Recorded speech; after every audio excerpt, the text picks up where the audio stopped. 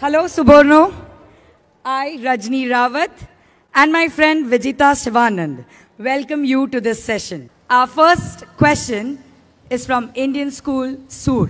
Myself Raisa Fatima from Indian School Sur. I study in 11th grade. So I have an interesting question for you. Nanobots or nanorobotics sound pretty scary.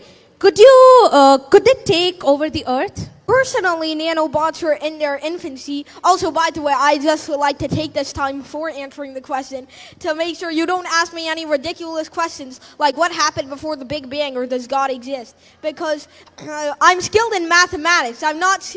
I'm not as skilled in telling you whether your spiritual beings exist. I respect all beliefs and I respect all religions, but I don't believe that I can answer questions of that magnitude that have such big implications. So that's all that I wanted to say. Thank you so much. Oh, no, no. Uh, I should actually answer your question. Sorry. You didn't answer my question.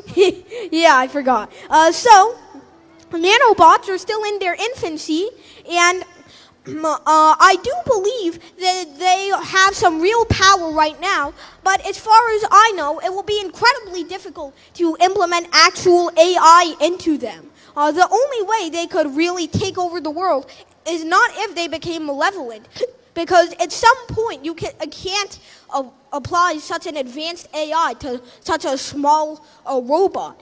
Maybe the only reason they will take over the world is some malevolent human. But uh, if regulations are put into place, that will hopefully never happen.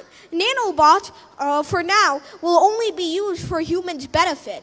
And I hope that it will co continue staying that way. And it probably will stay that way as long as regulations are put into place for how and where you can use nanobots. Thank you so much for No answering problem. my question. I hope that answers your question. Yeah, it does. Thank you.